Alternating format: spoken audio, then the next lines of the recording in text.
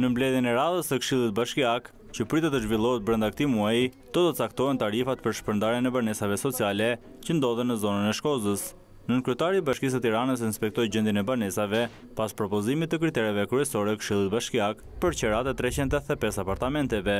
Megjithëse ka rreth një mijë e dyqind aplikime që janë grumbulluar që prej vitit dy mijë e shtatë, Bozdo i bëri thirrje qytetarëve të rifreskojnë dosjet që më pas të shqyrtohen nga komisionet e Bashkisë. Jemi plotësisht të gatshëm që treqind e tetëdhjetë e pesë apartamentet, t'i shpërndajmë në më shumë se një mijë e dyqind aplikime të marra deri më sot nga qytetarët e Tiranës, duke filluar që nga viti dy mijë e shtatë kur u premtuan për herë të parë. Ka dy nivele qiraja, të cilat shkojnë në logjikën e nivelit të të ardhura të banorëve. Ky program i banesave sociale të bashkërendohet në të njëjtën kohë me programin e subvencionimit të qirasë. Pra, në qoftë se kemi një familje me të ardhura të ulta, që nuk kap nivelin minimal të të ardhurave, atëherë ai përfiton qiranë më të ulët duke e subvencionuar bashkia. Pra kemi të bëjmë me një konvergjencë të dy programeve. Dhe kjo është arsyeja që unë mendoj që ky program gjithashtu do të jetë shumë i suksesshëm. Eno Bozdo akuzoi administratën e mëparshme se foli shumë për këto apartamente për shtresat në nevojë, por bëri shumë pak.